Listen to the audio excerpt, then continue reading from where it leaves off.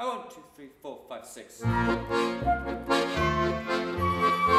The story is about how love changes people. A story that's as old as time.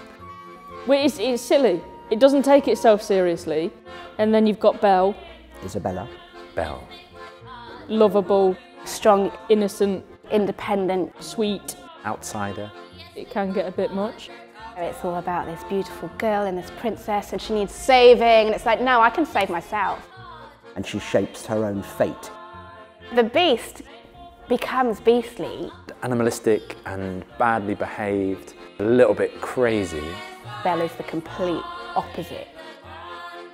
He's used to people doing what he wants. That gets taken away from him to teach him a lesson. Because we need to get taught a lesson every now and then.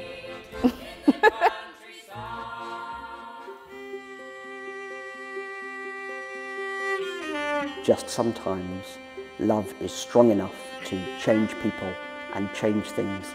What's on the inside, that's what counts. An openness to the world. You're going to laugh and you're going to cry. And it should also be really good fun as well. She gets everything that she wants and she's happy, and that's what's important. They go back to the cottage. Oh, I've just told you the end.